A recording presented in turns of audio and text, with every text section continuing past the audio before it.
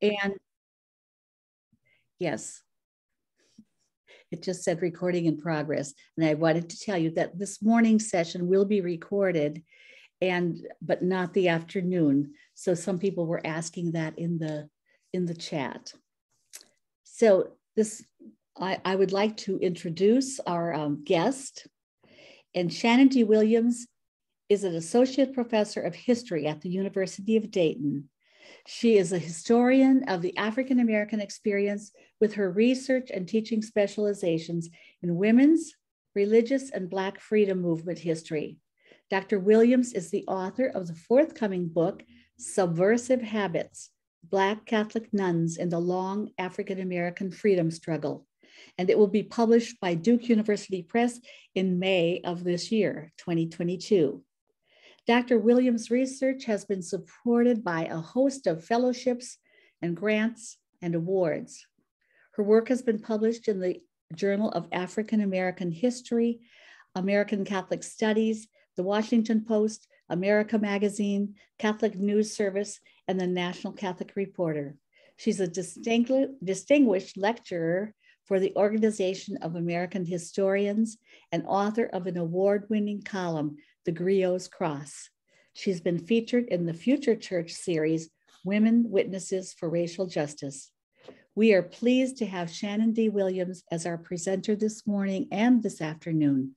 Shannen, welcome back to Baltimore. And would everyone please mute yourself now for this presentation? Shannen? Thank you so much for that introduction, uh, Joan. And thank you all for joining us uh, this morning and for today's presentations. Um, before I begin my formal remarks, I would just like to take a moment to thank Call to Action and the Racial Justice Circle for bringing me here in celebration of Black History Month, Black History Month, um, and for the opportunity uh, to share my research, um, really in the presence of everyone, but especially uh, the leader of the Oblate Sisters of Providence. Um, many of you who have read my work know um, that I have championed the work of the nation's Black sisterhoods, um, and especially the Oblate Sisters of Providence, who in many ways pioneered, um, not in many ways, did pioneer the teaching of Black and Black Catholic history within the church. Um, so I'm really grateful for the opportunity to share today, um, and I'm excited um, about the conversations to follow. I'm gonna share my screen. Can't, don't see my for one second.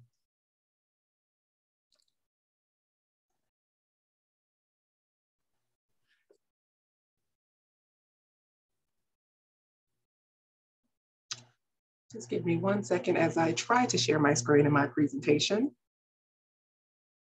Are you co-hosted? I am. Um, okay. For some reason, it's not showing up though. It happens. It actually just happened earlier this week in New Orleans. So I should be able to figure this out. There it is. Great.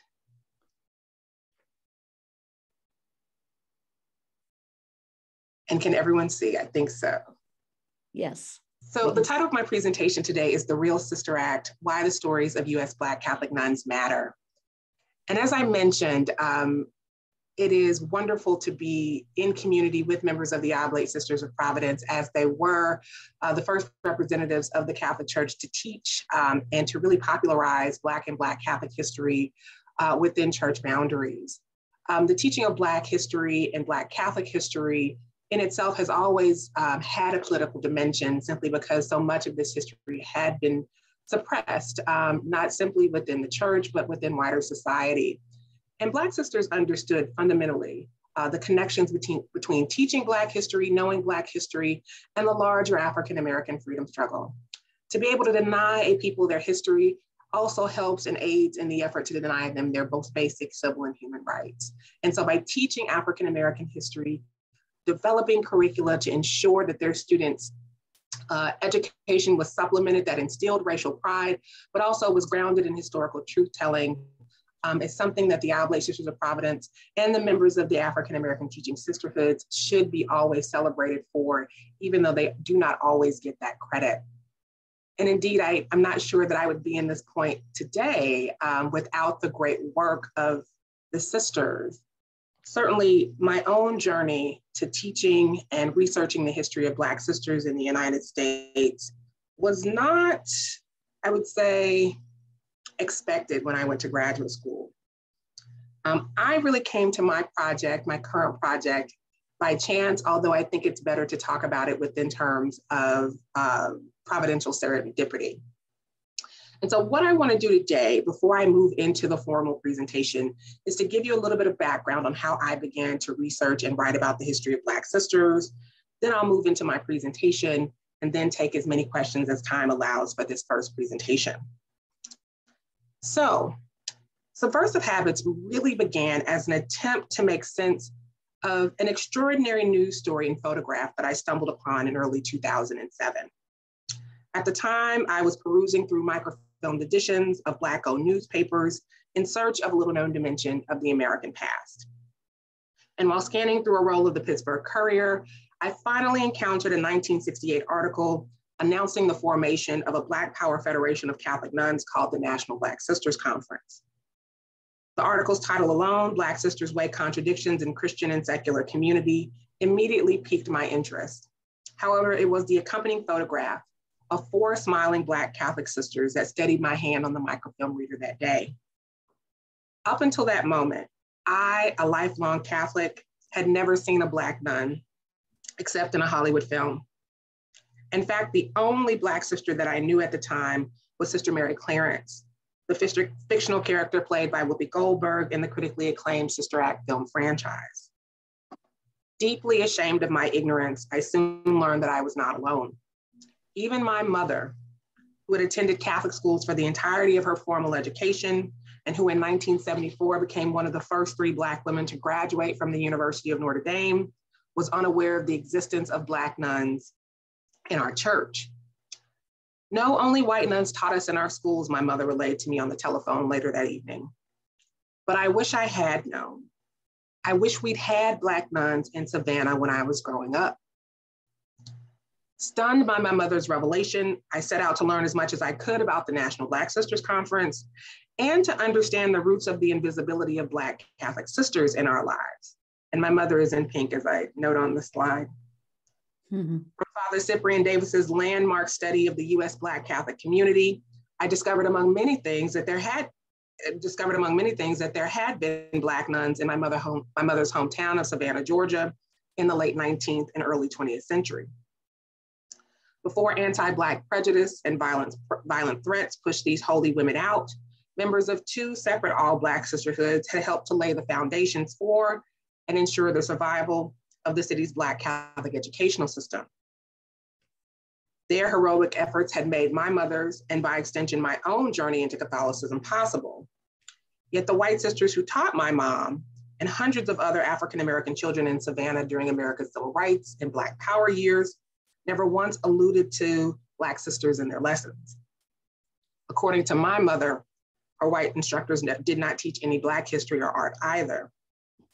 And after writing and calling a host of Catholic institutions to drag down some of the women, sisters, and ex sisters who established the National Black Sisters Conference, I finally began to understand why. The saga of America's Black women who dared to be poor, chaste, and obedient is largely untold. It is an uneasy story, not only because it is rooted in the American dilemma, racism, but also because the position of woman in an oppressed group is traditionally delicate and strategic.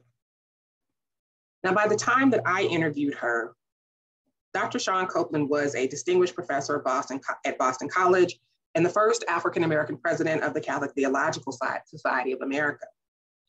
She had also been out of religious life for 13 years.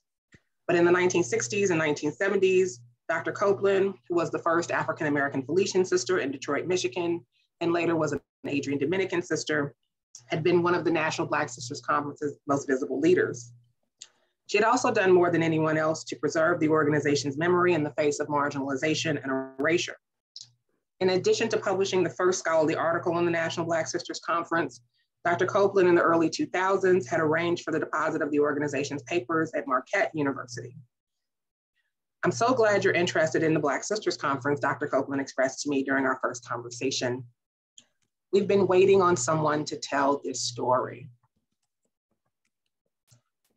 And while Dr. Copeland's willingness to share her experiences with me proved pivotal It was Dr. Patricia Gray, the organization's founding president and one of the four nuns featured in that Pittsburgh Courier photograph, who radically changed my focus and my book's focus.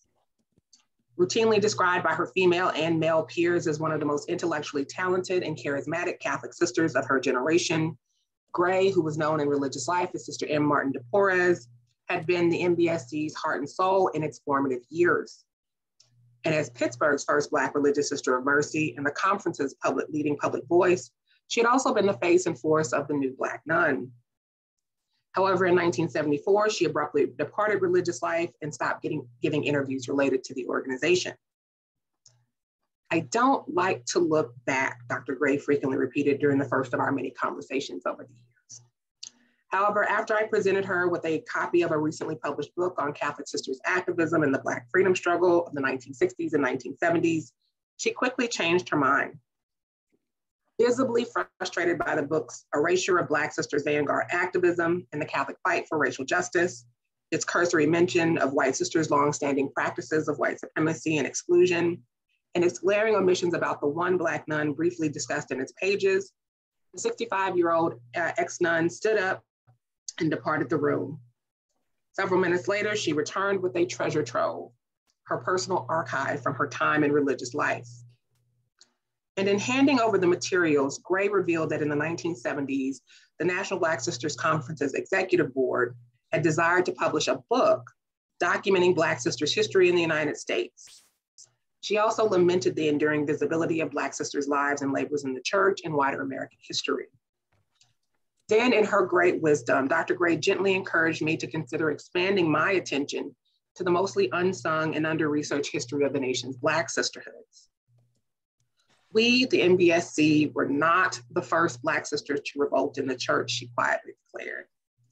If you can, try to tell all of our stories.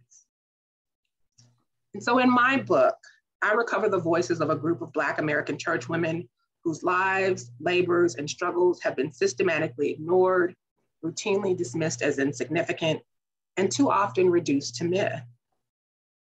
For 13 years, I went in search of the untold stories of the nation's Black Catholic sisters, and I found no accounts bearing any resemblance to the fabled Hollywood tale of Sister Mary Clarence. I also failed to encounter Black sisters whose lived experiences confirm many of the existing narratives of American Catholicism or the master story of Catholic sisters in the United States. Instead, from a host of widely ignored archival sources, previously sealed church records, out of print books, periodicals, and over 100 oral history interviews, I bore witness to a profoundly unfamiliar history that disrupts and revises much of what has been said about the US Catholic Church and the place of Black people within it. Because it is impossible to narrate Black sisters' journeys in the United States accurately and honestly without confronting the church's largely unacknowledged and unreconciled histories of colonialism, slavery, and segregation, I address these violent systems of power and exploitation and their perpetrators, male and female, directly. In so doing, my book recovers an overlooked chapter in the history of the long African American freedom struggle, a tradition of sustained Black Catholic resistance to white supremacy and exclusion that most scholars argue does not exist. When confronted with a silenced past, the greatest responsibility of the historian and the most radical thing any person can do is to tell the story that was never meant to be told. So my book, Subversive Habits, marks a new turning point and starting point in historical truth telling in the Catholic Church and wider American society. For far too long, scholars of the American Catholic and Black past have unconsciously or consciously declared, by virtue of misrepresentation, marginalization, and outright erasure, that the history of Black Catholic nuns does not matter. And offering the first full survey of Black sisters' lives and struggles in the United States, my book unequivocally demonstrates that their history does matter and has always mattered.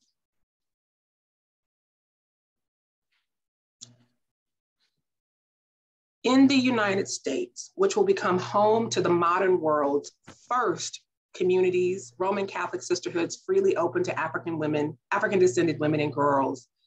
Um, the story of this formation begins as much of the history of the American Catholic Church, that which in what becomes the United States in the American South.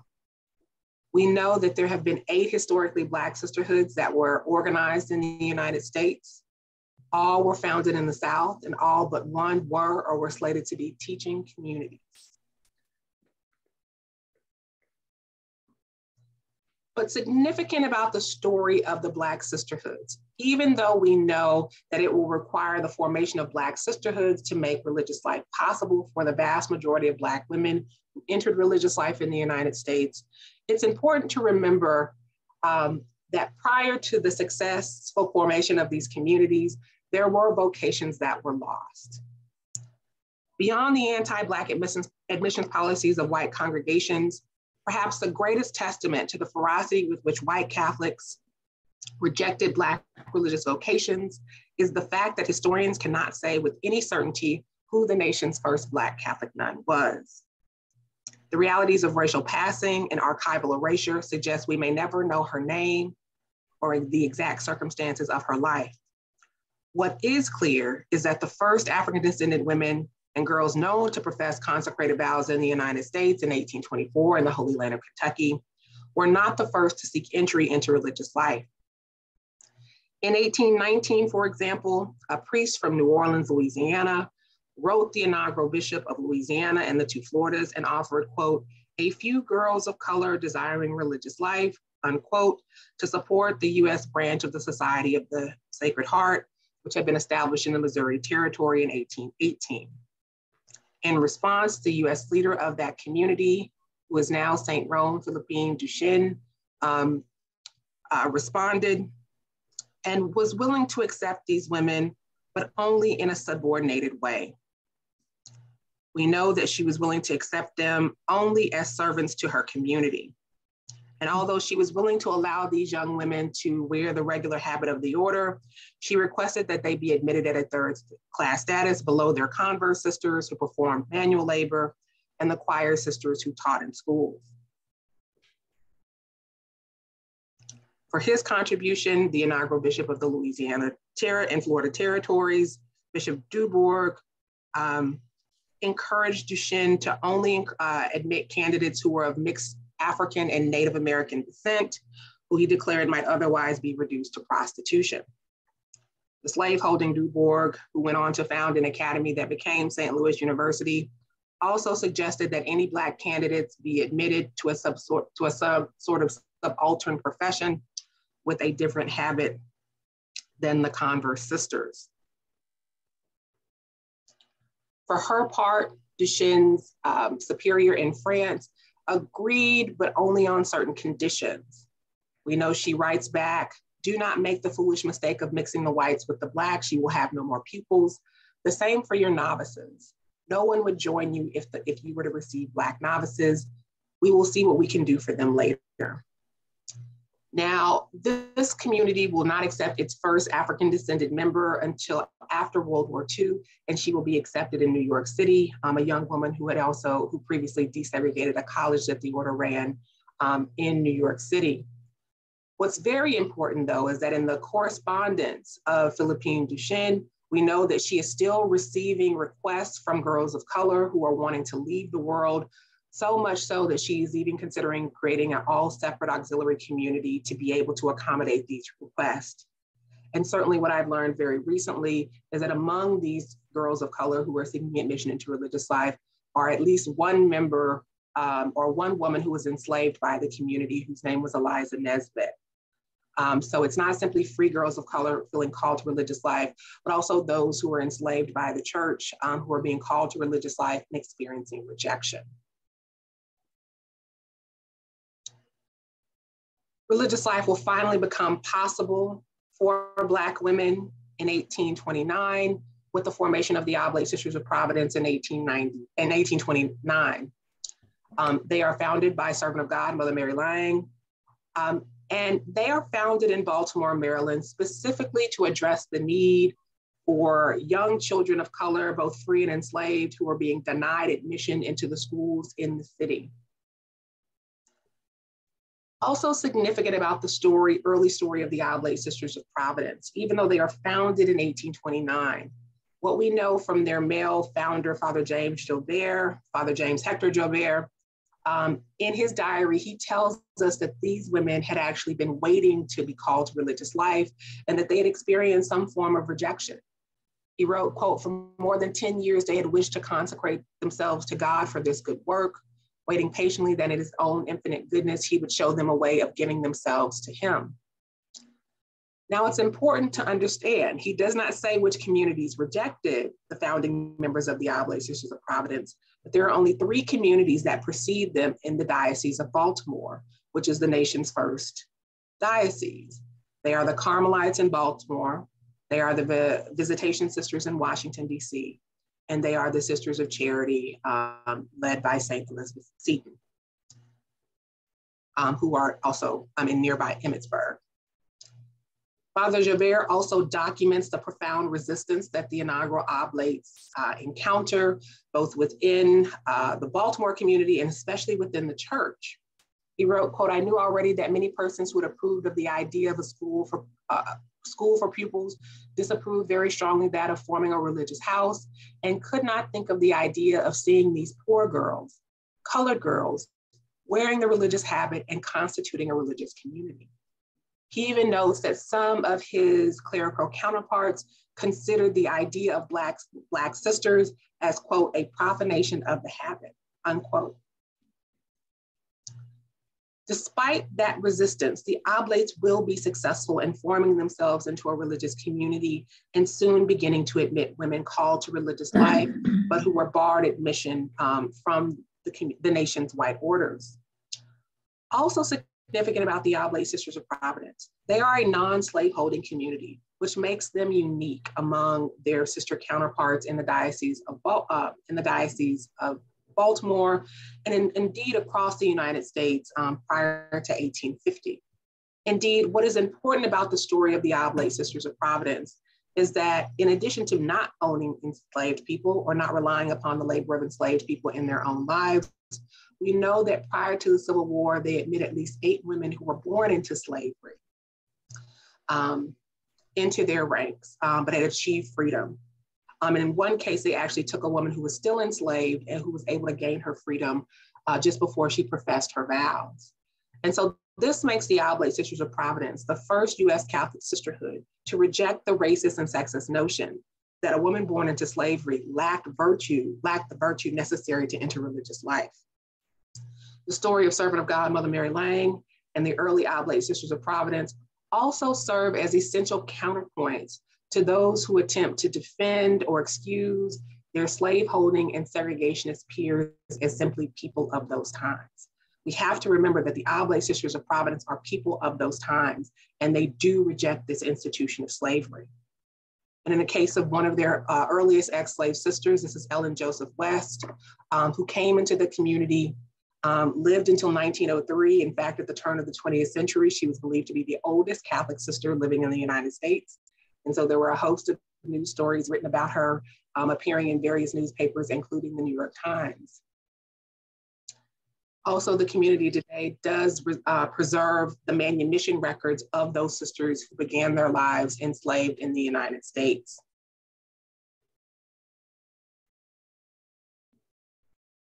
The second successful community of African American sisters are the Sisters of the Holy Family, founded by Henriette DeLille, who is one of six African American candidates currently under consideration for canonization.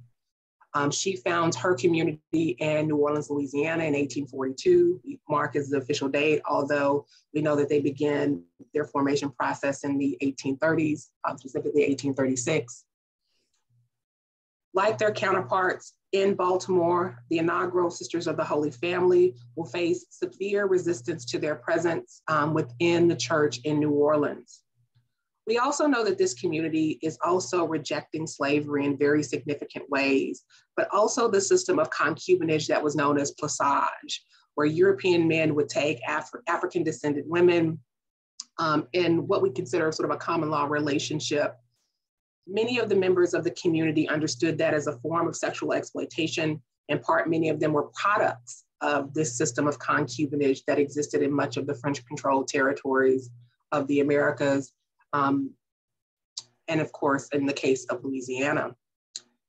Also significant about the Sisters of the Holy Family is that they are the first congregation of sisters founded in the state of Louisiana. And there were sisterhoods that preceded them um, in ministering in Louisiana, but all of those communities had come from Europe. Most of them had come from France, and their mother houses were in France. So the Holy Family Mother House will be founded in, um, in Louisiana and specifically in New Orleans. And from their first history, we know um, we have a sense of some of who, who these women are.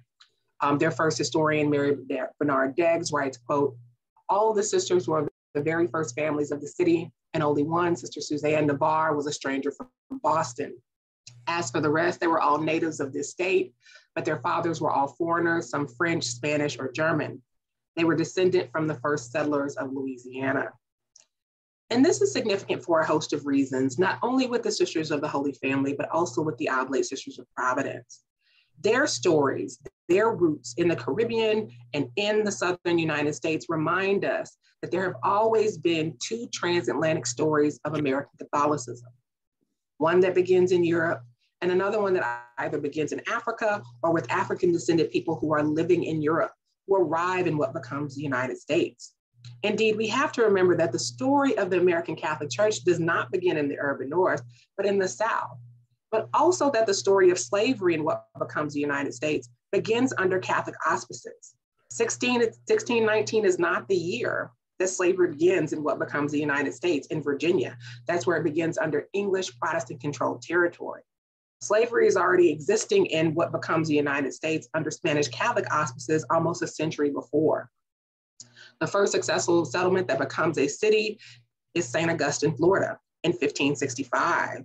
In fact, we know that in 1565, there are free and African descended people who are a part of that arriving party. And baptismal records and marriage records in the Diocese of St. Augustine today tell us, among many things, that Christian marriage was inaugurated in St. Augustine, Florida in 1565 by a free Black Catholic woman from Seville, Spain, and a Spanish soldier. So, when focusing on and telling the stories of Black sisters, we are forced to grapple with the African foundations of American Catholicism. Like in Latin America and the Caribbean, Catholicism was the first Black articulation of Christianity in what becomes the United States.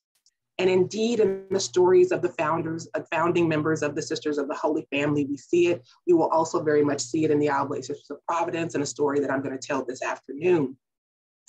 But in the case of Henriette DeLille, we know that she is the great great granddaughter of Claude Dubreuil, who is the inaugural French royal engineer, whose crews of free and enslaved men built many of the first roads in New Orleans, built the first canals.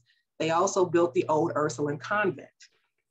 The old Ursuline convent for the Ursuline sisters, who were the first Catholic sisters to minister in what becomes the United States, is built by enslaved people. The Ursulines own over 200 people. Also significant is that they will not accept Black women, including someone like Henriette DeLille, because of her African heritage and her unwillingness to pass for white. We also know that the sixth member of the Sisters of the Holy Family is a descendant of the Spanish Catholic Pintado family. And the Pintados were among was were the family that surveyed much of early Spanish Florida and Spanish Louisiana. The sisters also document the resistance that they face from other sisters within the community, um, within their local community. And unlike the Oblate Sisters of Providence, the Sisters of the Holy Family were denied the opportunity and the privilege and right to wear habits uh, for the first 40 or 50 years of their existence. We don't actually know exactly when they are allowed to sort of uh, profess their vows and wear habits. But when they do, certainly by the 1880s, um, they are met with profound resistance at every level of leadership within the church. Sister Mary Bernard Deggs tells us that, quote, we had a very hard time for we had many enemies who wanted to degrade our dear little community as poor as we were. We were persecuted by the Sisters of St. Joseph in the city. They tried all they could to make us take off our habits. This was after 45 or 50 years that we had worked and suffered to have a no one would think we were anything if we were not dressed in the holy habit. And from their second historian, who sort of publishes their second history in the 20th century, the oral history of the community was passed down is that the Sisters of St. Joseph were angry because they believed that the Holy Sister habit, when they finally designed it, was too similar to that of their lay sisters. And they wanted to ensure that the Holy Family Sisters, the first community founded in the state of Louisiana, would be recognized as the most inferior rank of sisters in the Archdiocese of New Orleans. Um, so sisters are deeply invested in ensuring, ensuring up white supremacy and, um, and ensuring the subordination of Black sisters in the city. Nonetheless, they will survive. And if you can see my arrow, this sister right here is the sixth member of the community. This is Anne Fazenda. She is a descendant of the Spanish uh, Catholic Hurtado family. The third community that is still with us are the Franciscan Handmaids of Mary, of the Most Pure Heart of Mary, which were founded in Savannah, Georgia in 1916. And then they relocated um, to the Archdiocese of New York um, in 1923. They are founded specifically in response to a bill that was introduced in the Georgia State Legislature in 1965, which would have banned white teachers from teaching Black children and Black teachers from teaching white children.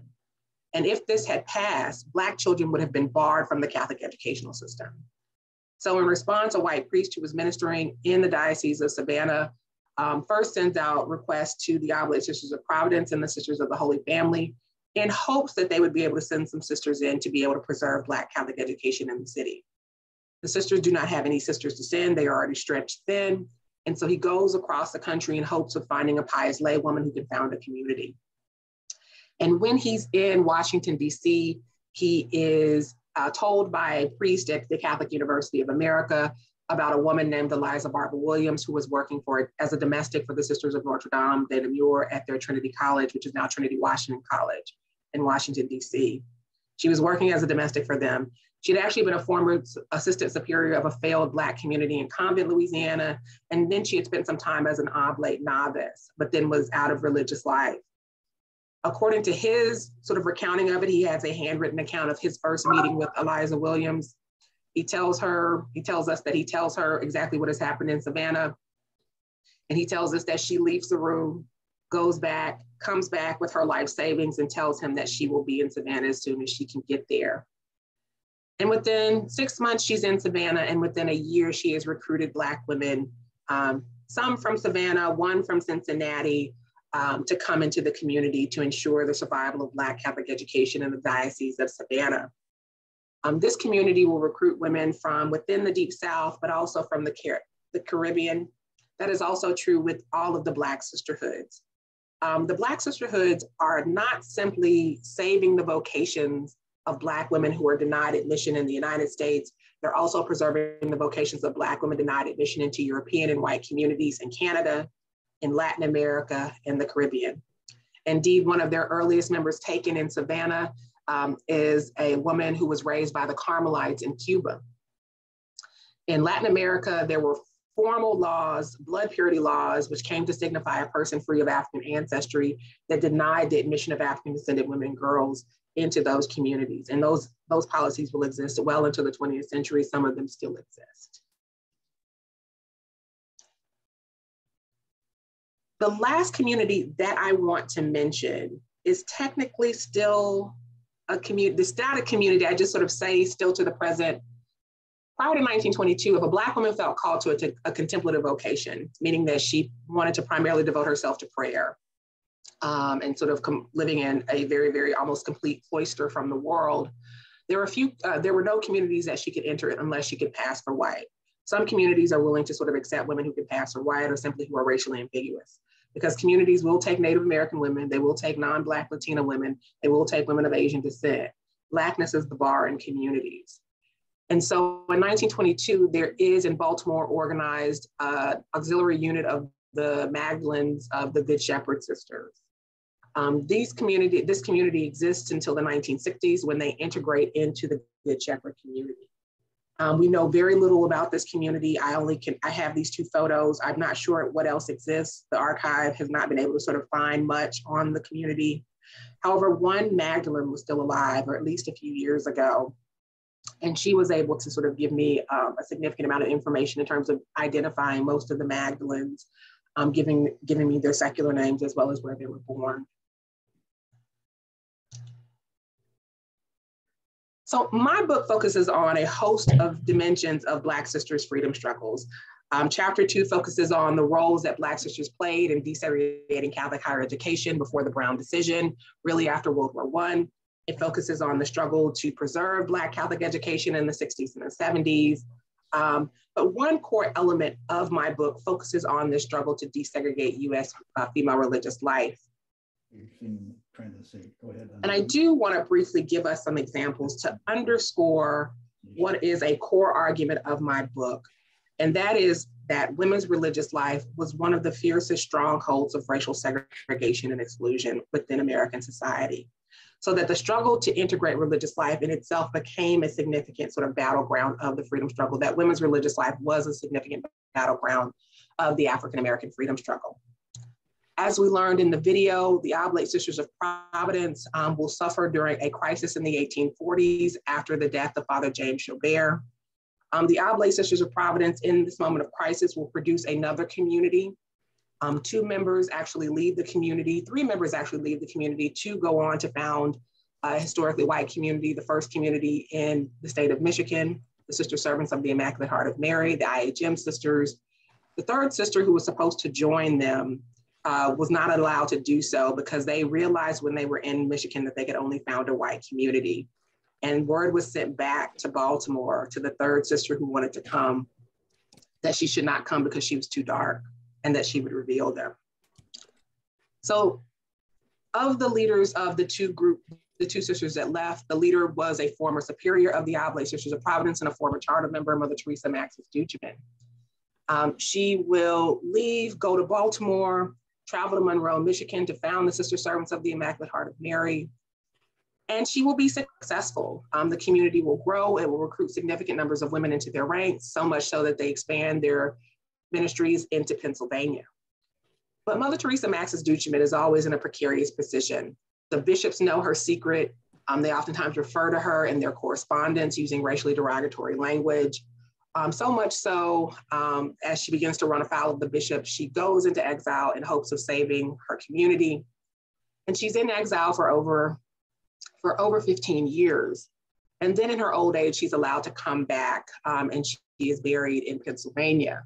But after her death, the community um, enacts sort of a policy of silence. They erase their community's African American heritage and founding. They cite a, the third member of the community as their foundress, erasing their two African American former Oblate foundresses. And then in the 1940s, they sort of somewhat admitted, but it's really not until the 1990s when the community adopts an anti racist platform um, and apologizes um, for what they had done to erase um, their heritage and also opened up their archives specifically to acknowledge what they had done in terms of suppression and practicing racial segregation and exclusion. In fact, though, during this sort of period of uh, which the community sort of agrees to sort of a committed sort of conspiracy of silence. We even have one sister sort of writing in 1928 we are convinced that silence is the fairest, wisest, and most agreeable way of committing oblivion to this subject. In fact, we know that some uh, IHM sisters go so far as to close their archives after a Brooklyn priest had discovered who Mother Teresa Maxis Duchemin was and wanted to have her canonized. And they did not give him access to their archive because they knew that if he had gotten access to their archive, he would find out that she was of African descent um, because she had been a former Oblate Sister of Providence. One thing that I want to note out here in this photograph, this is actually the only photograph that exists of Mother Teresa Maxis Duchemin, again, a founding member of the Oblate Sisters of Providence and the chief founders of the IHM Sisters. If you go on their website, you probably will not see this photograph. Instead, you will see a drawing based on this photograph. And it's because Mother Teresa is not wearing the habit of the community that she founded. Um, this is not the IHM habit. This is the habit of the Grey Nuns of Ottawa, Canada. That is where she lived in exile um, for over a decade. And so the photo itself documents that history of exile. And so um, the image that you will see of her is primarily an etching based on this photograph of her. There are other Black women we know who serve as superiors in the 19th century. This is Mother Mary Rosanna Wightman, who served as the superior of the Sisters of Charity of New York. She is described as the most hidden of the Mothers General. Um, they know very little about her, um, believe that she was born in Charleston, South Carolina to either a free or enslaved mother and a British planter father. Uh, she enters this community, um, serves in various leadership positions before she becomes superior. But upon her death, one of her successors, went, according to the oral history of the community, that one of her successors went into the archive and attempted to destroy everything related to her except her prayer book and rosary. One photograph does survive, though, which was given to me by the Sisters of Charity of, of New York. For those Black women who we know go into white communities in the 19th century, those who were not racially ambiguous or could, or, and could not pass for white, all were forced to leave the United States to enter communities. And they all were forced to leave, um, sort of enter communities on a subordinated, in a subordinated status. This is Frederica Law, Savannah, Georgia, um, who enters into the novitiate of the, the of the Missionary Franciscan Sisters of the Immaculate Conception in Rome. She was only allowed to be admitted at, and trained as a lay sister, meaning that she would be relegated uh, to domestic labor within the community. She becomes sick um, and dies on um, and dies very soon after, but she was allowed to profess her vows on her deathbed. Uh, she was Sister Benedict of the Angels and is buried in Rome. Frances Johnson of Baltimore, Maryland, also entered the Franciscan sister. Uh, we know entered the Fran- novitiate of the Franciscan Sisters of Mill Hill in London um, in 1885. Um, she was believe where she entered believing that she would be trained on an equal status, but the community decides to only train her as a tertiary, which in many ways is the equivalent of a lay sister. She professes her vows as Sister Xavier, returns to the United States to live um, and reside and minister in Baltimore um, until her death in 1894. The last sister that we know of who entered religious life um, uh, that we have sort of information for is Mother Matilda Beasley, who was the foundress of the first community of Black sisters in Savannah, Georgia. Uh, we know that she was from New Orleans, uh, Louisiana, somehow gained her freedom, made her way to Savannah, Georgia, where she married a, eventually married a free Black Catholic man, and she herself converted to Catholicism. Upon the death of her husband, um, she uh, reportedly gives all of his uh, wealth to the church. Um, and begins to found ministries to the neglected African American community. In or a short time before 1885, we know that she travels to York, England, and likely entered a Franciscan order there to undergo novitiate training. By 1889, she is back in Savannah and she has founded a community, um, the Sisters of the Third Order of St. Francis in, um, in Savannah, which again is the first community of Black sisters in Georgia. By 1893, though, Mother Matilda begins her community begins to suffer financially. And the Bishop of Savannah encourages her to travel to Pittsburgh, uh, to Philadelphia, uh, to meet with uh, a new, the leader of a new community um, that was designed to minister in the African American and Native American communities. Um, this were, these were the Sisters of the Blessed Sacrament, founded by Saint Katharine Drexel.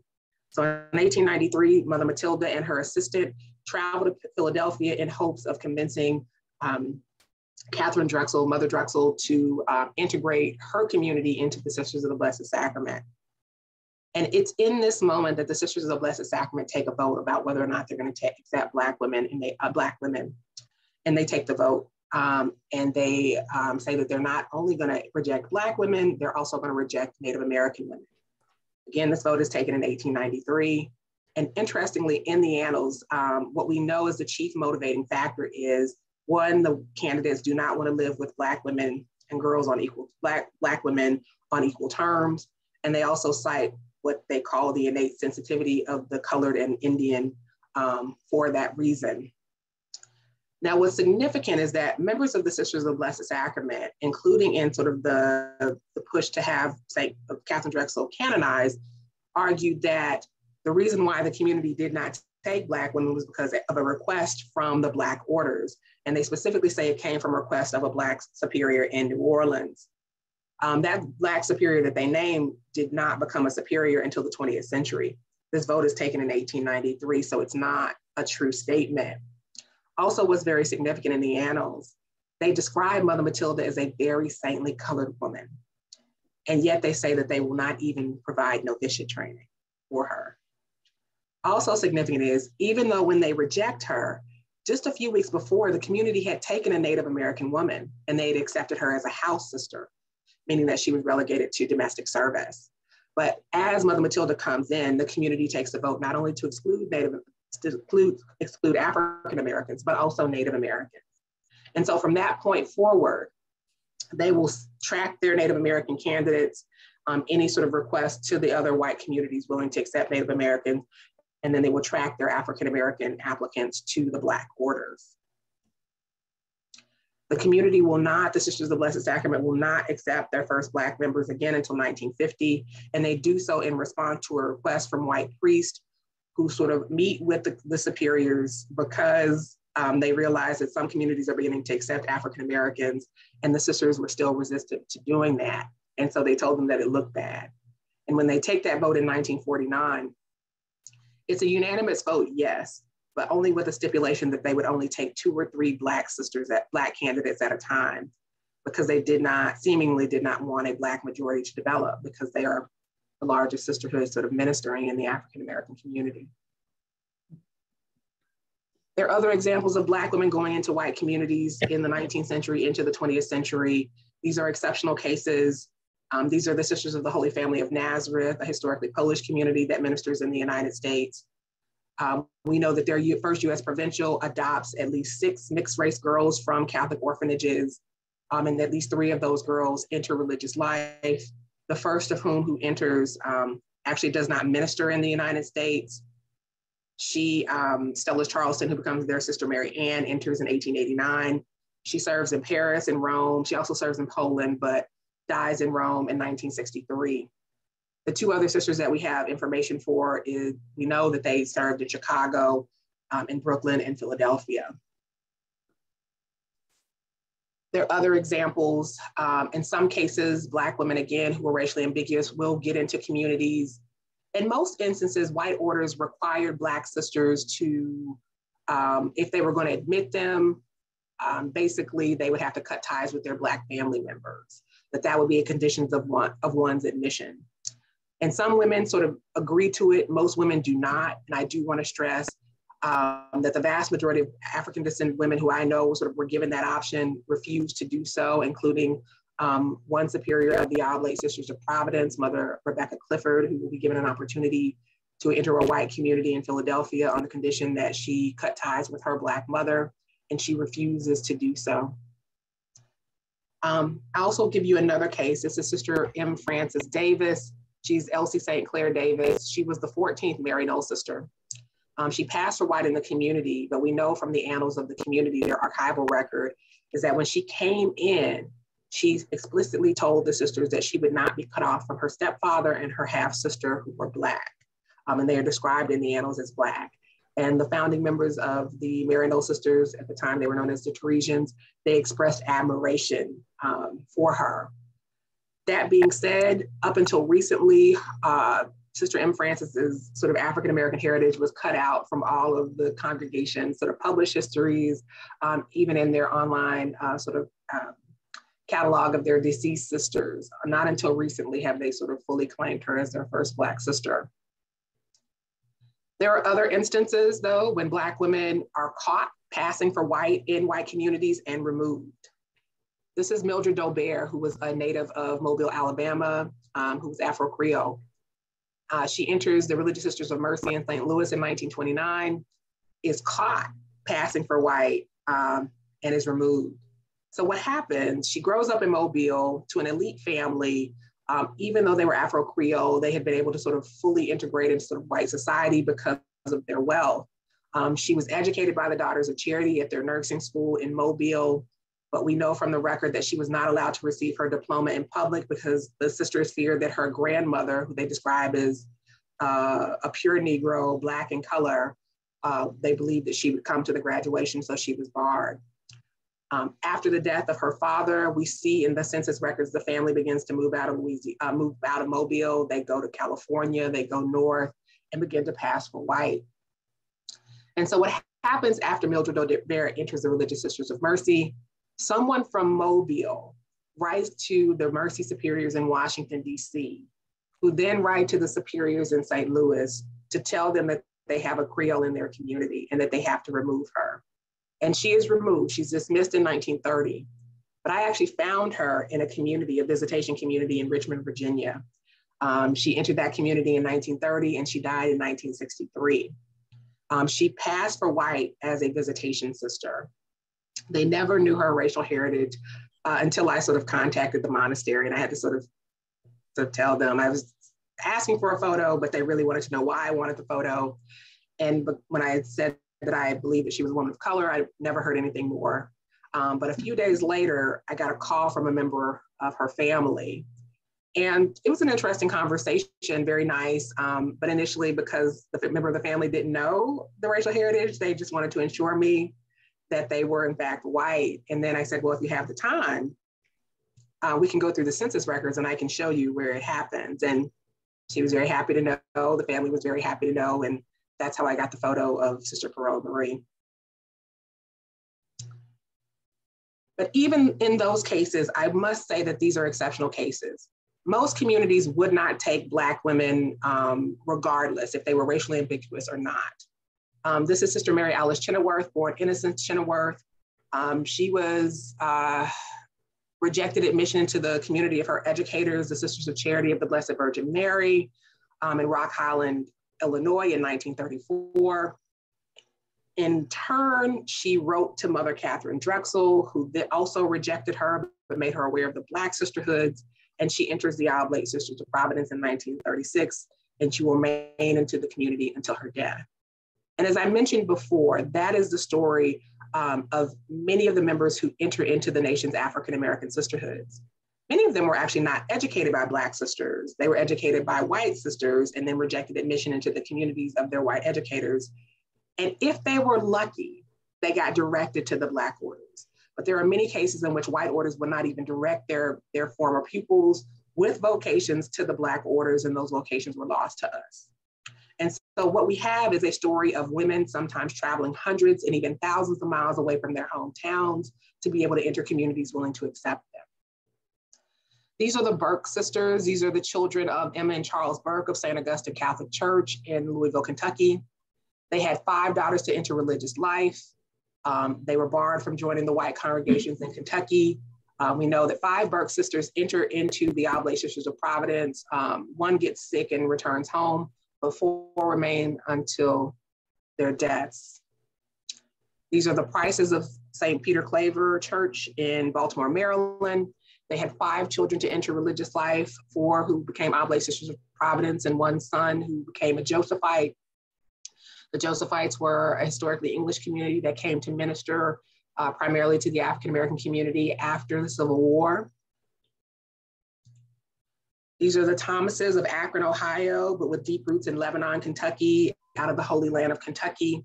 They sent four daughters to religious life. Uh, the three oldest entered the Franciscan Handmaids of Mary in New York City. The youngest, Josephine, entered and desegregated the historically white Sisters of St. Joseph of St. Mark in Cleveland. Um, many of these women, many Black Catholics can trace their lineage to the earliest days of the church. Not only um, many of them have sort of European sort of ancestry, but certainly those who are descendants of the free and enslaved people whose labor and faithfulness built the church. In case of the Thomas sisters, they can trace their lineage to a Black laywoman named Eliza Spalding Smith, Spalding, Eliza Spalding, in her life um, before the federal abolition of slavery, was owned by the extended family of Bishop John Lancaster Spalding and early Baltimore Archbishop Martin Spalding. Also have ties to Catherine Spalding, who was the founders of the Sisters of Charity of Nazareth, um, all slaveholders. Um, this is an image from St. Augustine Cemetery in Lebanon.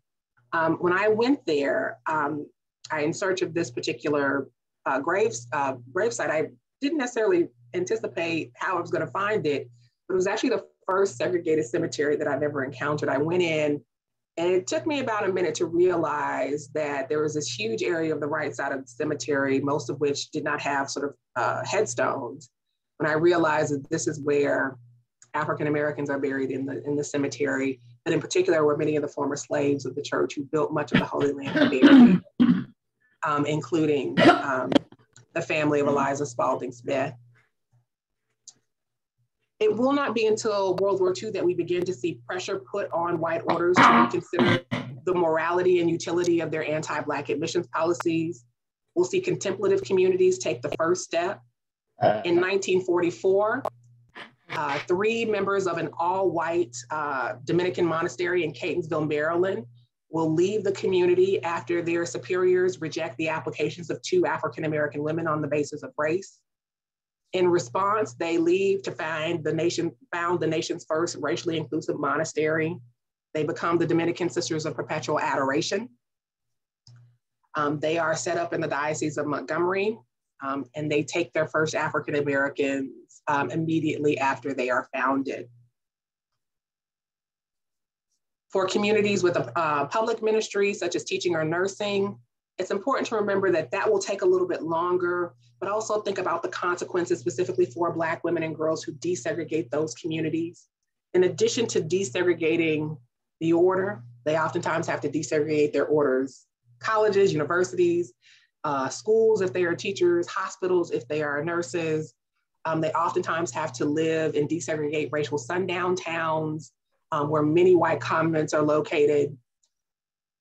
And so it becomes a challenge. And certainly of the pi first pioneering generation of Black sisters who enter white communities, uh, many of them are only admitted on a segregated basis.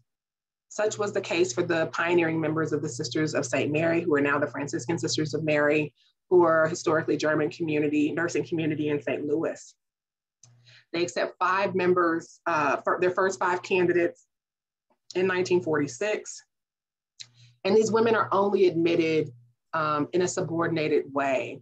Um, they build a separate novitiate for the communities for their Black candidates.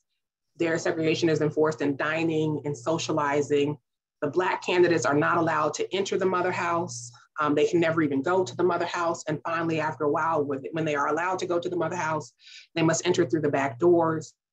They are even forced to profess their vows in a segregated profession ceremony.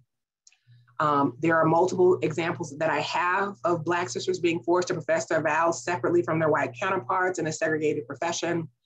Um, in the case of the Sisters of St. Mary, we have a photograph of their segregated profession. Um, I don't know if you can see it here. This photograph uh, was contained in the archives of the uh, Catholic University of America. I had this photo for a few years before I actually realized what it was. Uh, one of the one of the five was Sister Mary Antonia Ebo, um, who was a Selma March participant. Um, she had told me in her interview what had happened, and then I realized that I had a photograph of it. And then it took me another year to realize something else in this photograph.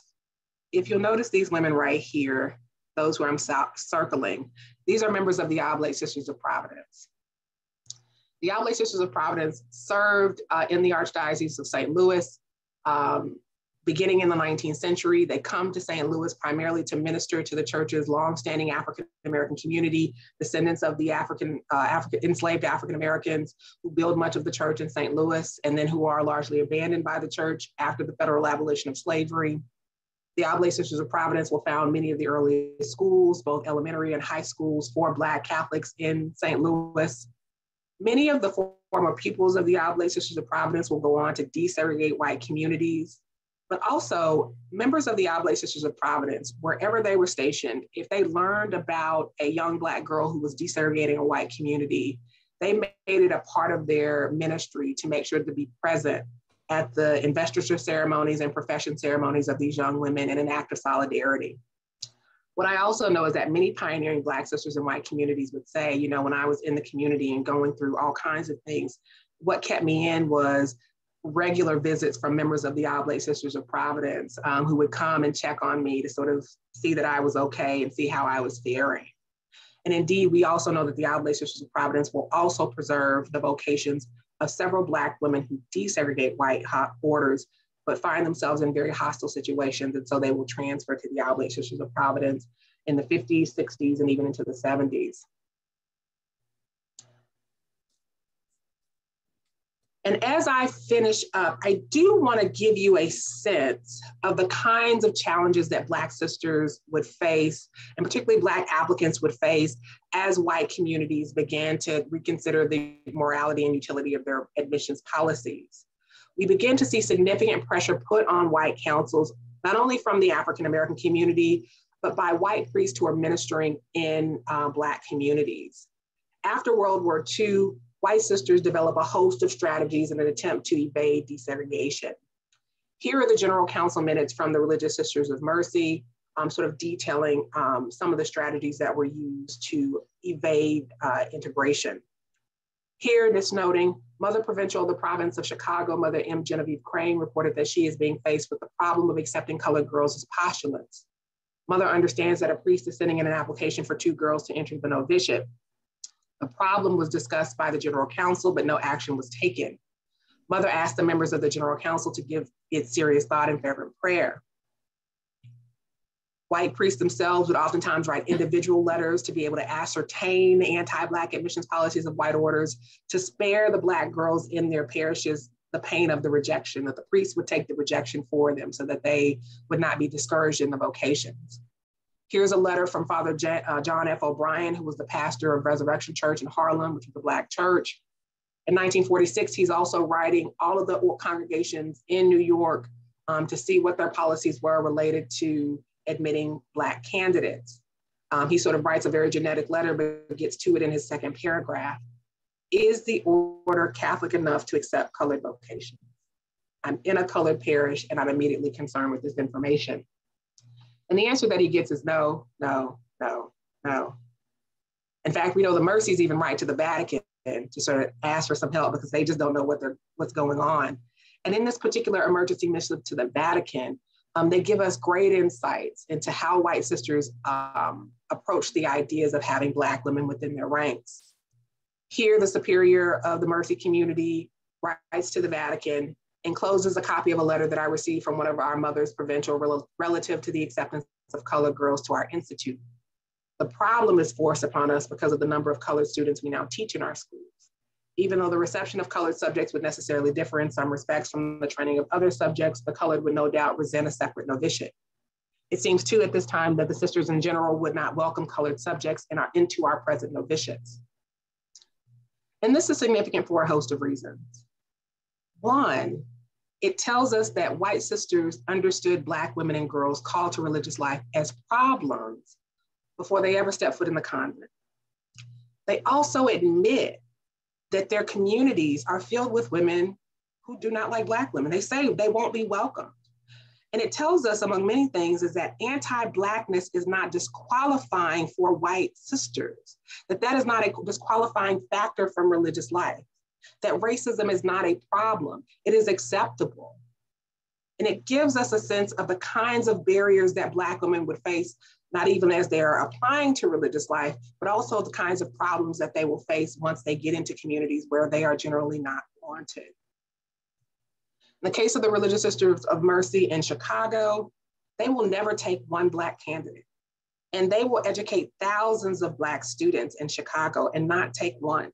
We know that they're getting vocations and they refuse to accept one. Their first community member to admit to be admitted and remain is Sister Cora Marie Billings. She is the first African American admitted into the Religious Sisters of Mercy in Philadelphia and likely the first US born Black woman admitted into a congregation in Philadelphia. What we know about her is that she actually had two aunts who rejected admission into the Mercy Sisters and all the white congregations in Philadelphia in the decade before her. Both of her aunts became Oblate Sisters of Providence and died as Oblate Sisters of Providence. Their father, Sister Cora Marie's grandfather, John Aloysius Lee Sr., was the second African American graduate of Roman Catholic High School in Philadelphia, which is the nation's first um, Catholic high school. He is a prominent layman and becomes the first African American to win the Vercelli Medal um, uh, from the Archdiocese of Philadelphia. He does another, he has sort of an amazing life in itself that I could talk about later.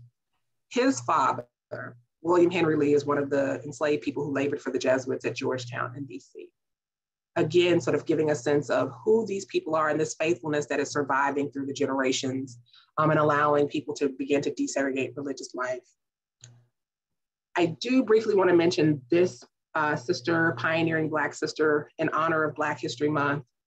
As I said, members of the Black orders not only sort of teach Black history, many of them will go on to begin to desegregate Catholic colleges and universities in the era before the Brown decision, which I talk about in my book. But I also want to give us a sense of what's happening and remind people that members of the Black, the white orders are also desegregating colleges when they enter those communities. And I want to give you this example um, um, because it's an example that I believe every person should know. This is Dr. Frances Douglass. Um, in 1945, she became the first African American woman admitted into the Daughter of the Heart of Mercy. She enters from Brooklyn. She goes on to earn her PhD from Fordham um, in 1951 um, and began a career in the academy in psychology. In 1956, she becomes the first African American to head a department at DePaul University. And then in 1963, she'll become the first woman of color to head a department at Marquette University. What's significant about her experience in groundbreaking work in higher education, especially at DePaul, she, she becomes the first Black department head at DePaul in 1956. Now, anyone who would tell you that we have all believed that the great historian, prominent Black historian, Dr. John Hope Franklin, is widely cited as the first African American to chair a department at a historically white institution. But Dr. Douglas, who was not known as a nun because the members of her community did not wear habits, she begins her tenure at, as the head of the psychology department at DePaul in the same fall of the same year as Dr. Franklin assumes the head of uh, Brooklyn College's history department. And so, because we do not tell the stories of Black sisters, because we have ignored this history of the desegregation of higher education, Catholic higher education, when we begin to sort of talk about the kinds of feats that Black sisters um, achieve, they are monumental. And yet, because we don't tell the truth about Black sister stories, we don't even get a chance to champion Black nuns as desegregation pioneers. Um, and so I just wanted to make sure that I do that. And in my book, I make sure that I champion all of the Black sisters, especially the members of the Black sisterhoods who desegregate Catholic colleges, universities um, in the 20s, 30s, and 40s, again, before the Brown decision. And so even before we get to the civil rights movement, so many Black sisters had already broke boundaries and broke uh, barriers as the first Black members of their institutions and desegregating their colleges, their orders colleges, or desegregating the faculties of their order schools or the staffs of their, uh, their orders hospitals. Black sisters will certainly be marching in Selma, and Selma sympathy demonstrations across the country. But it's important to understand that this is just an extension of the activism that was already taking place within their communities. So by the time that you get the formation of the National Black Sisters Conference and you begin to see Black sisters publicizing their testimonies and their experiences of racism in religious life, some of whom are leaving, we have a sense of a very connected, um, in many ways, sort of seamless freedom struggle that would sort of bring us to the present. And even though the numbers of Black sisters, African American sisters are dropping in the United States, I do want to also make a point to note that the numbers of African sisters who are ministering in the United States have helped to reverse the declining population of Black sisters in the United States. And I do want to end my presentation um, with um, a bit of reflection on the legacy of Black sisters. Um, and I'll leave us with the words of Sister Loretta Teresa Richards, who was the longtime superior of the Franciscan Handmaids of Mary in Harlem. When I asked her what she thought the greatest legacy of Black sisters was, she did not hesitate to respond. She said the Catholic Church wouldn't be Catholic if it wasn't for us. That if we had not persevered in our vocations, if we had not answered God's call on our lives in the face of unholy discrimination, one can only imagine where the Black Catholic community would be, and perhaps most importantly, where the entire American Catholic community would be that we push the church to declare with their words and actions that Black lives did matter.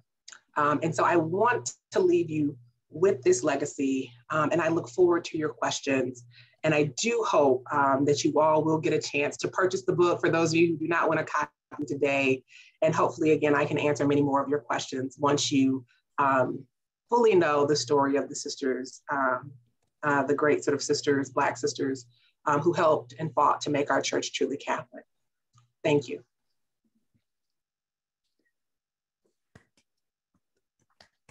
Thank you.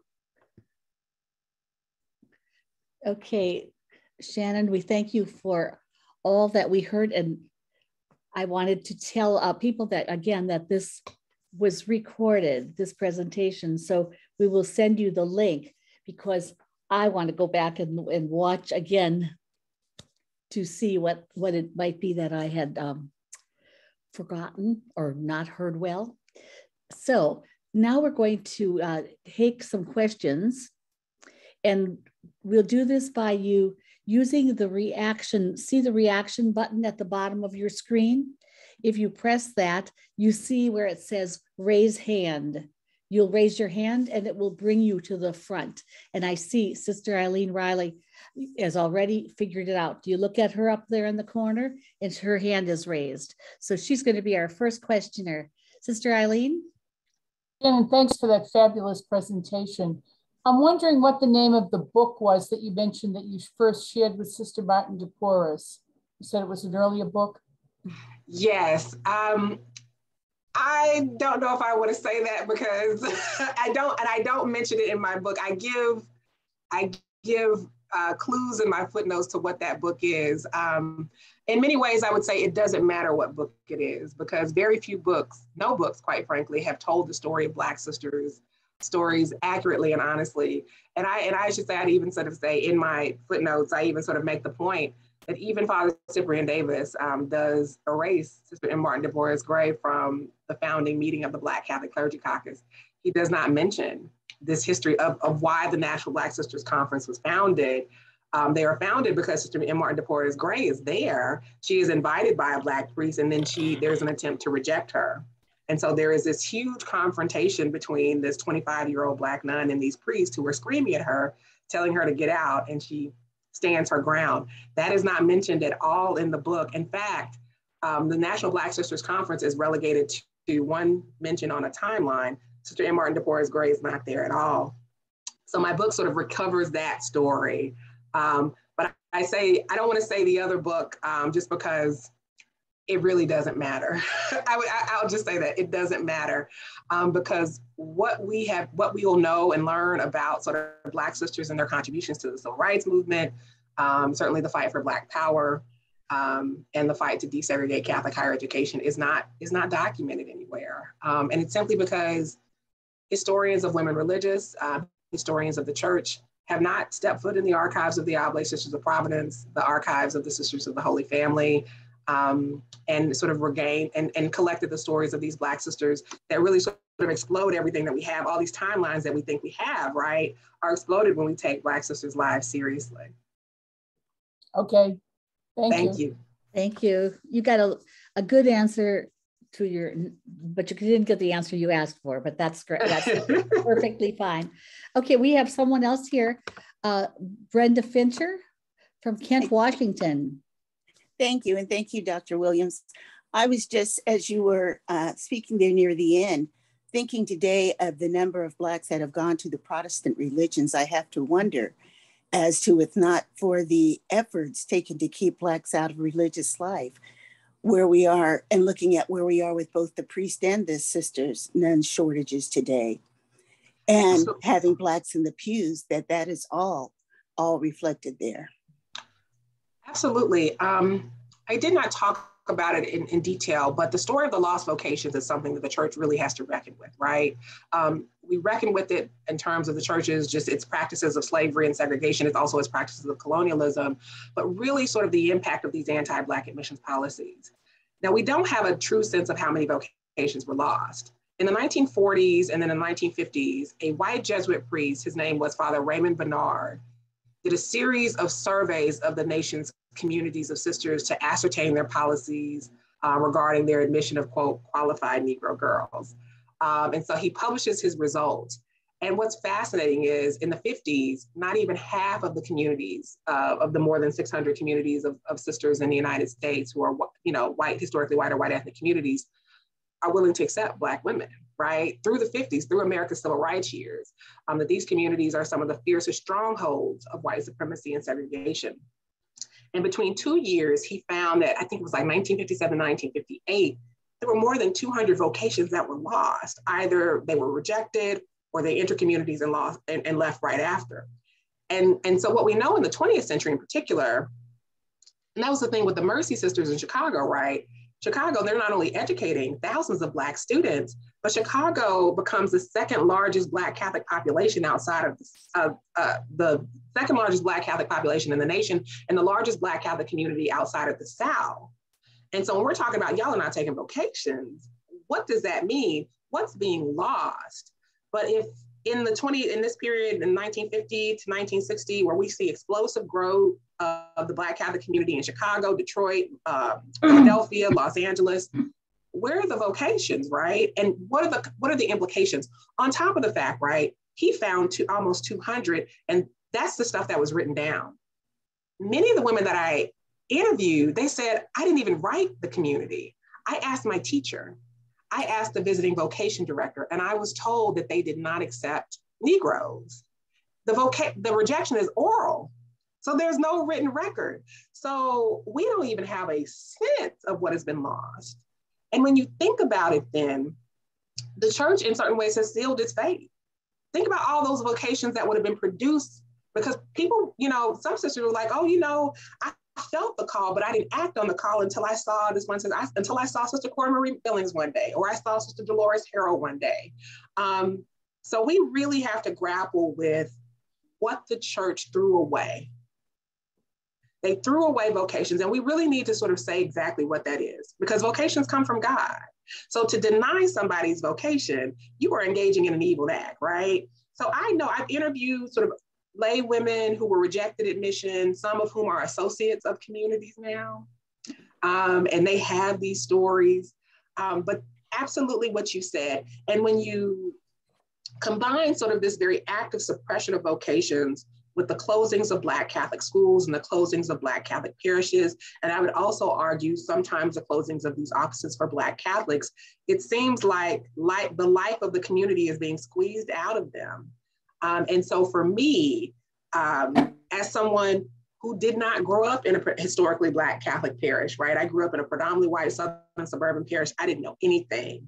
Um, and it's, it's, it's shocking how much I didn't know. I knew there were Black priests because, you know, by the time I got confirmed, Memphis got its first Black bishop in Bishop Terry Steib. And I was like, oh, they're Black priests. It never even occurred to me. That's how far my mind was gone. I didn't even think about Black nuns.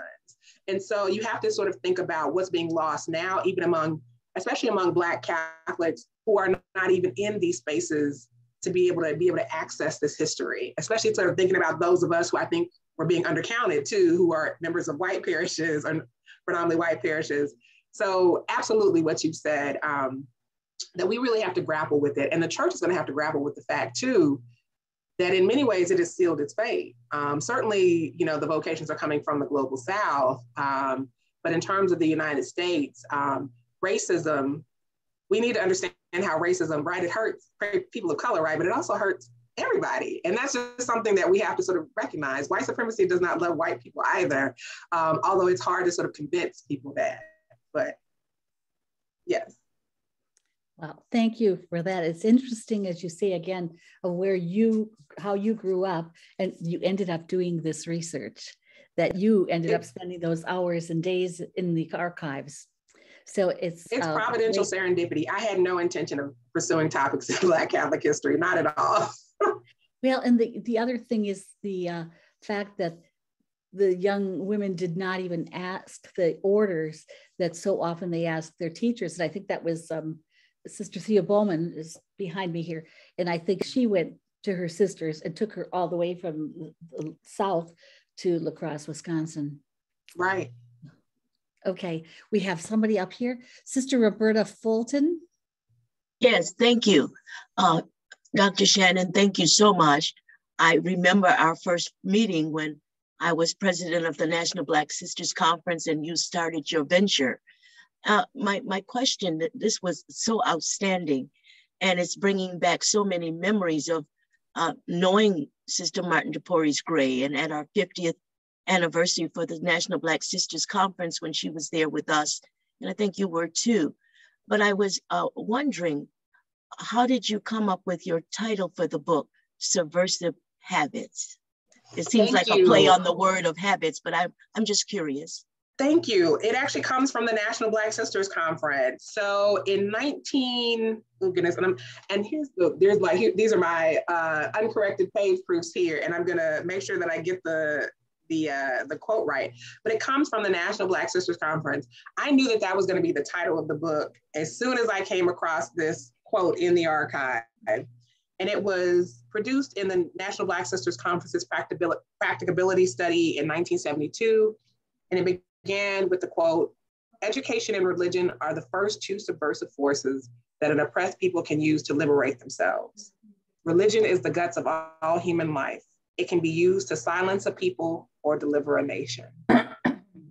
And that's where it came from. It's also sort of a double entendre, right? Sort of the subversive and then the habits, sort of that the idea of Black women in habits is a subversive idea to sort of really sort of think about what it means um, that the color, we all talk about the color of Christ, right? But the mm. color of Christ's brides also mattered right? To sort of think about the idea of a Black bride of Christ in a world that imagines Christ as white. Like there's so many subversive elements to this on top of the actual subversive habits of a Black woman ministering in the United States, serving a community. Um, and certainly when we're talking about sort of serving um, and creating sort of a Black Catholic educational system, right? To, to be able to sort of, um, one that affirms racial identity, racial pride, but also prepares a generation of people, right? That Black sisters, right? They're like, you know, we're not just sort of committed to sort of Catholic education, but anti-racist education, but also building up race leaders, right? Um, mm. The chapter, title of my second chapter, Nothing is Too Good for the Youth of Our Race, is taken from a speech delivered by an Oblate Sister of Providence at a meeting of the Federated Colored Catholics in the 1930s. Mm. Um, and um, again, sort of the the, thes- the the master's theses and PhD dissertations of Black sisters, right? They're this, these wonderful sort of sources that we have to get a sense of um, the political strategies of Black sisters.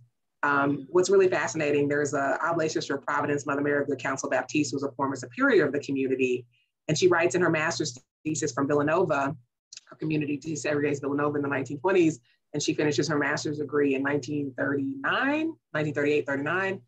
And she literally sort of says, We are conservative radicals.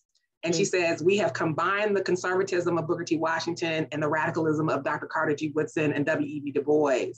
And she says something so profound. She said, We would, we know, um, she said, basically, she said, I, I'm going to paraphrase her we combine it because we would be foolhardy to advocate any theory or idea that would bring violence upon our heads or those of our pu- pupils. We know that the South accepts this axiomatic white supremacy. That being said, we are never cringing on morality or anything like that to renounce wrong is wrong.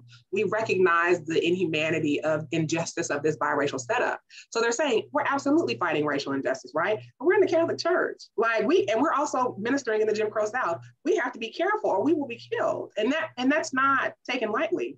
We know that the Oblates are attacked in St. Louis. Um, the Sisters of the Holy Family are attacked by the Klan in Texas. Um, the Oblates lose a school to arson that they believe um, was created by the Ku Klux Klan in Orangeburg, South Carolina. So we have these examples of these attacks on Black Catholic education as well, because proponents of white supremacy saw the power of Black schools and particularly Black Catholic schools, because they were not under state supervision in the ways in which they control other public school systems. And if they are under Black control, they are a profound threat um, in the Jim Crow South and especially in the Protestant Jim Crow South. So Black sisters are really doing political subversive work that we necessarily we haven't necessarily paid attention to. Um, again, because, and I'll just continue to say this, people have not stepped foot in the archives of these orders. Um, and you know, I get so frustrated. You know, a lot of Black sisters were allowed to die, and we didn't get their stories, and that upsets me in ways in which I, I really don't even know to talk about because we've lost so much of this history because we've let women die and they are the ones who are carrying these stories. So absolutely. And so the great thing about the National Black Sisters Conference, right, is they they sent their papers. They sent their papers to Marquette, um, which is what we also have to do. Black Catholics have to preserve their records. Um, we need the oral history, but we also need the archival record of what has been preserved. Thank you. Wow, thank you. Um, I don't see anyone there, but Joanne Kennedy, I see you have a question in the chat. Would you like to uh, present that question?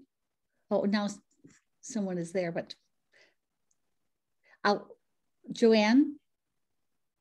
Yeah, I'm here. Uh, thank you. I, I have I've seen you, Sister uh, Shannen, so many times, and I every time I love it. I just love your presentation. I'm so happy that you're doing it. I have pre-ordered the book. I'm a huge, I'm a fangirl, basically. I'm not embarrassed to admit I'm a total fangirl. Um, and I, I um, work on the Catholic Worker newspaper, and we publish you, uh, republish you as much as we can. Um, I just wondered if you, in your research, you've become aware of anybody doing a similar project around men's orders or even diocesan priesthood, just to um, also bring that story forward at all. Right. You know, the book that we have is Desegregating the Altar, right? Um, which is older. Um, and we certainly need more people sort of doing this work, right? Um, even in my own work, I say, right, I haven't said everything there is to say about African American Sisters Journey. I'll be doing this forever. But not anyone that I know of in PhD programs um, doing this work. Um, we know that there are collections of oral histories that were collected by Black priests um, in the 70s. I know Father Cyprian Davis's papers that are at the Catholic University of America. Um, they have the records and the minutes of the Black Catholic Clergy Caucus. And there are points, right, where we can sort of identify folks, um, um, and they were sort of keeping membership list records. But I don't know of anyone sort of doing this oral history work, um, and it absolutely needs to be done. Um, and but and I, and I think it's I don't know if it'll be harder. I know I couldn't do it. I'm not one. it's hard. Like I'm not a sister, so you know there are certain things I still could not get to as a laywoman doing this work. Um, but and certainly I would say one would need. I think you need a bunch of people doing this work. I'll say this, um, and I think you have to also recognize, and this is what any professionally trained oral historian has to learn, right? How you get people comfortable enough to share things. And what I've learned with the oral histories for example, I don't go in and sort of ask a sister sister about sort of her experiences of racism straight out, right? Like I ask about family. I sort of there's two parts to my interviews because I want people to get comfortable. But we also have to recognize too, a lot of Black Catholics have trained themselves not to tell these stories. Um, and that's even true. Um, and you know, even at the book, the end of my book, I sort of end with a quote from Dr. Patricia Gray from the 50th anniversary of the National Black Sisters Conference meeting in, in, in, in New Orleans. And she she's calling to sisters in the room who are still re- reluctant to tell the stories their most difficult aspects of their journeys outside of NBSC circles. She's like, you can't protect them. You can't protect their congregations. You can't do it. So many people are protecting the church and protecting the congregations, and so sometimes they suppress, um, you know, their stories. And I would assume the priests have those sto- will will do that too. And I and I say this in part because I know Dr. Patricia Gray knows many of the stories of the priests. When she was at the clergy caucus meeting, what was happening was that the men were telling their stories. And it's a consciousness raising moment for her. And she's like, well, you know, one, you have to figure this out. She's like, I bet you we have these stories too. Everybody has this abuse. But then there were other stories that she learned later. And, you know, this is, you know, and it, it, it, shocked her and she says but i'm a sister i can't do anything i have no power in the church. So i had to tell a hmm. priest about some of the things that were going on that were you can imagine. Um, so i think that that's that's going to be the difficulty right? Um, i think you'll need a priest doing it i think you'll need a layperson doing it um, but there's that question of how much you can get out of folks. Let me just i'll just say that but i think it absolutely needs to be done um, I think you also have to sort of grapple with some other factors that you may not have had to sort of take into account for, for Black sisters. I'm not doing a good job of answering the question, but not that I know that people are, okay. one, there are not enough folks doing it, but even more so than that, um, I think there will be different kinds of factors involved. Okay, they, it, we certainly in Baltimore need people to look at this. Uh, but we have two people yet waiting for the, we'll take these last two questions. Sister Irma? Hi, Shannen. It's good to see you. Um, could you talk when you were doing your interviews? Did any of the sisters talk about the experience of having to, especially when desegregated white orders, a simulation? Because it's one thing that, I mean, I entered way after the fact, but still, that that's an issue. Did any of them really divulge that with you? Absolutely. Um, they did in oral history interviews, but also in the 1960s and 70s, a lot of them talked about it. They wrote about it. Um, you know, um, there's a great article by Sister Teresita Weind that was published in America in 1968. And she talks about integrating her Catholic school and how her white sisters and the counter, you know, and her peers made her feel like the underdog, so much so that she started to look down on her home life. She said, I love the spirituals, but I stopped saying it. I love soul food, but I never said it. We know that there are some communities that enforce sisters to assimilate, right? Um, in the case of Sister Thea Bowman, right, she has to stop breaking in song, right? She said, when she used to be happy, I would break in song. And then I was told that that was not, you know, that was not proper behavior. She dealt with teasings about her hair and her southern mannerisms. Um, you know, there's one really, really horrific story um, by an African American woman. Um, her testimony, and if I can find it, I do want to read it because I think it's important. She was the she was actually the second African American school sister of St. Francis. Her name was Daniel Marie Miles. Uh, she was from Mississippi, from Yazoo City, Mississippi. Their first Black member was accepted in 1941, but she was explicitly told to pass for white. Like there are two members of that community that I know that they could not tell their students, they could not tell anybody else that they were white, um, that they were Black. And so they were forced to, to pass for white. But Sister Daniel Marie talks about internalizing um, the hatred. She actually sort of even mentions that she used to pray for God to make her white so that they would she would be acceptable to them. She said that she would go into the recreation period, recreation time. She would walk up to her counterparts and they would say, "No, get out of here, go away." And that was after everything she had done to be white, right? So you'll it is well, well documented in the oral testimonies that I include, but also in the written record.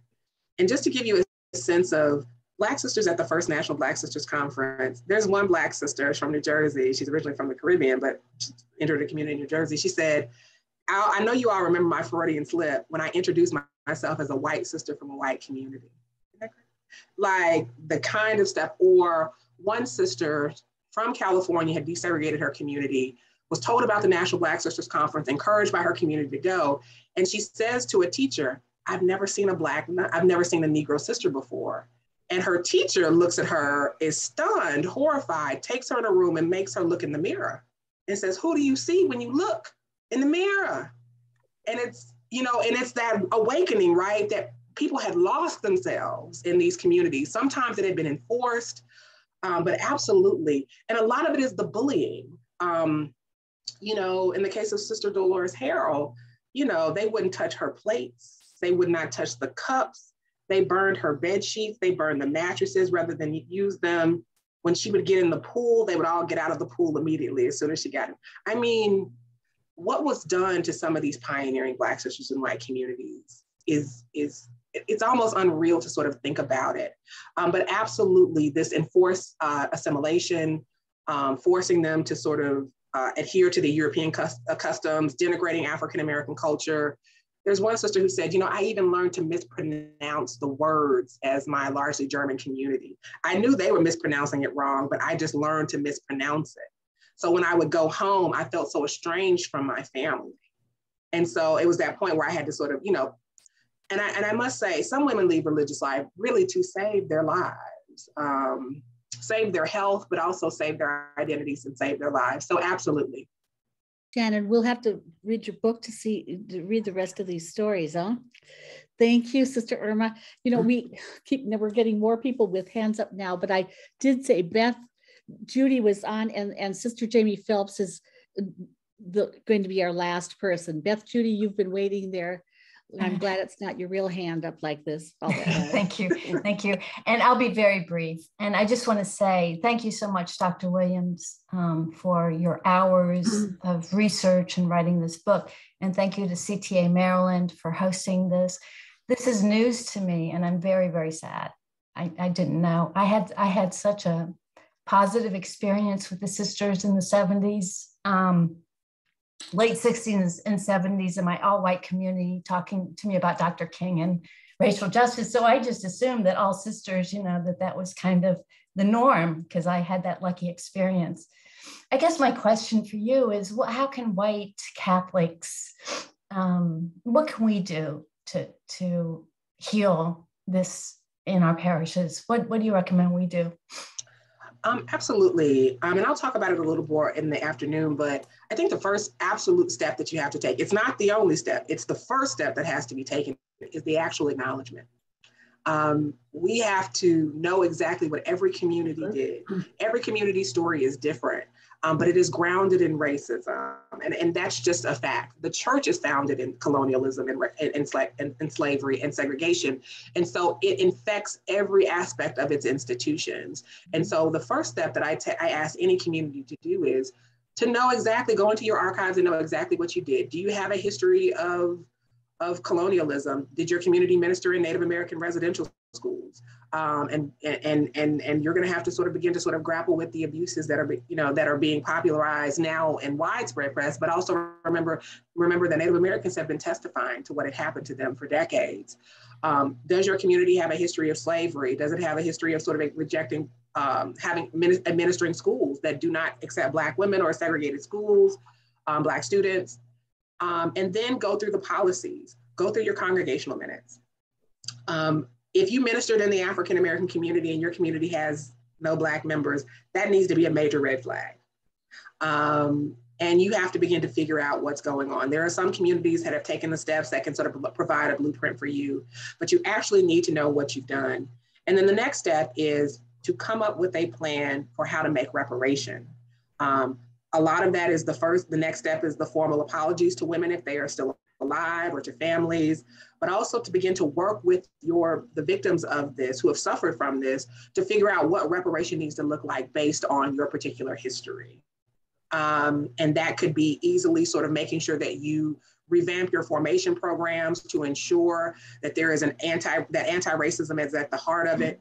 Um, whether that is maintaining and requiring people to sort of make sure that they know this history, read these history books, um, know the testimonies of Black women that were that were um, rejected.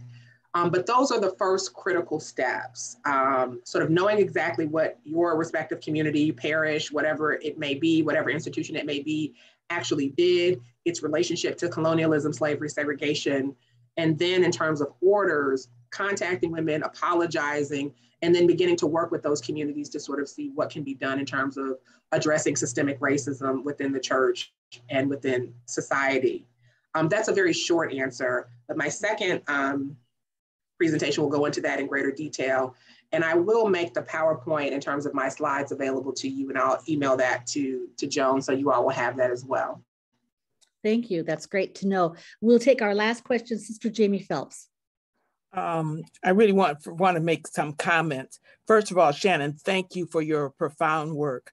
Uh, it's groundbreaking. I hope you continue it and we will uh, wish you every success in your research. Uh, the question about priests, I did my work, my dissertation on John R. Slattery, who was the uh, unrecognized founder of the Josephite priests, whose primary mission is ministry to Black people. Um, and I think you, if you look at some of that, uh, you can get some hint if you want to find out what happened uh, with with uh, Black priests.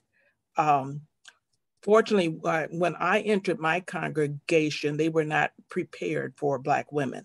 Um, I loved my sisters as sisters loved me. My vocation came at an early age when I was young. And the, my confessors, when I was going for, after I made my, my first communion, blah, blah, blah, uh, my, my priest started mentoring me and, and, and cultivating my vocation and vocation directors cultivated my vocations uh, when I finally got to the congregation, the formation directors uh, did welcome me.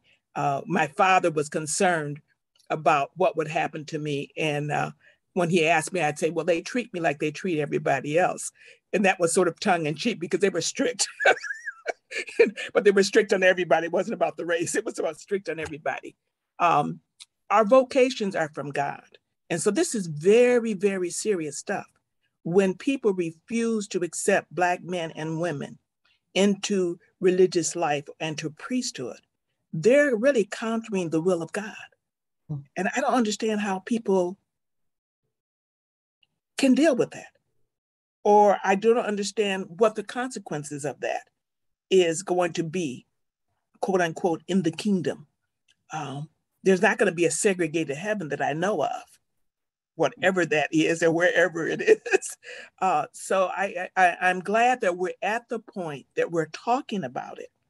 But talk is only the first stage. Uh, I got to the point where I had a lot of young Black women who uh, were working with me, collaborating with me in ministries out there in the field. And they would come to the mother house and they loved the sisters. But when I invited them to consider a vocation, they said no.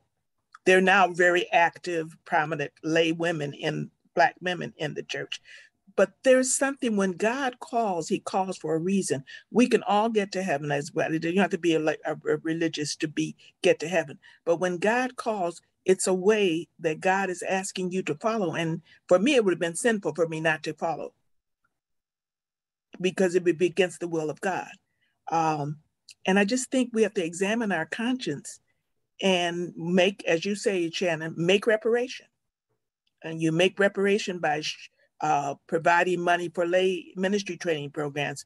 By uh, I'm not sure Black women, contemporary Black women, are going to enter religious life because you you can be very active in church related ministry without being a sister, without doing the vows. So I don't know what God's will is relative to this issue, but we do have to admit our sins and make a firm purpose of amendment. And if some Black women do approach us, uh, we welcome them with open arms and then seek the consultation with the National Black Sisters Conference so that we can mentor and help those young women. That's what I did with the five that entered me and left. entered, uh, I mentored them. I tried to walk with them so to help them negotiate uh, this. And some of the women remain racist. They still, they see, I'm glad I have dark skin, so there's no question of me passing. I probably wouldn't have done it anyway because the way the Phelps are, we're just like there, you know. but but but we really have to examine this. You are re- resi- resisting the reality that we all came from the same Father, Mother, God.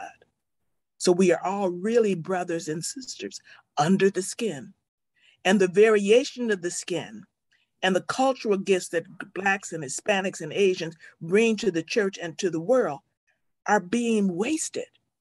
And that's probably why we're in the crap that we're in right now with the racism in Congress, the racism in the world. The Klan is rising again, and my mother house sits in a territory that's surrounded by the Klan. I'm so glad our doors are locked.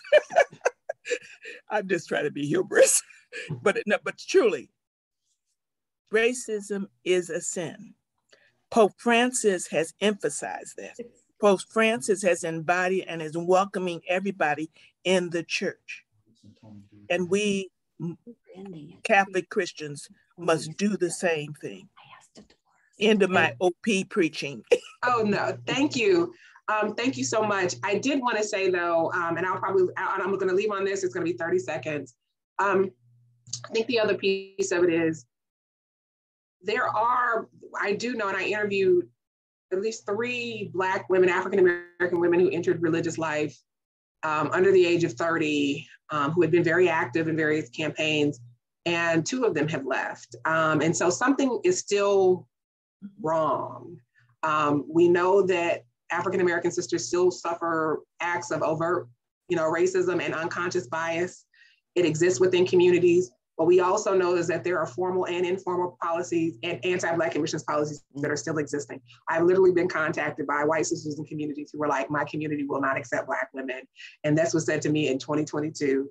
I know the names of the community. So the other piece of this is that this this this history is still with us. It's not a history, it's still very much a part of our present. But but thank you so much. And again, thank you all for the opportunity. Um, I'm just so looking forward to uh, this afternoon's conversation. But thank you so much, Sister Jamie, as always.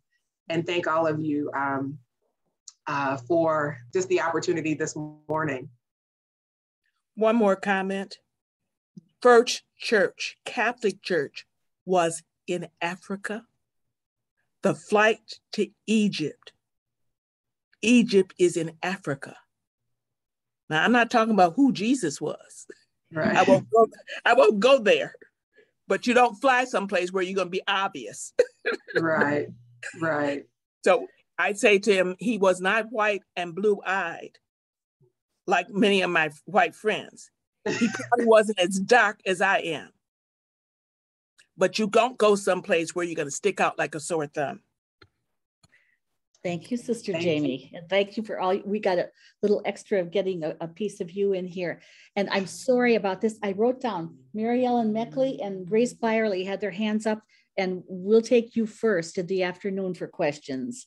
Okay. And Dolores and Tony, we're going to start with your um, words this afternoon because I have a feeling people are getting uh, ready to get up. And also, I thought we were going to have lunch now, but some people out there uh, maybe having breakfast or brunch if you're coming from uh, another place. Dolores, is that okay if you come on and and Tony this at the beginning of the afternoon?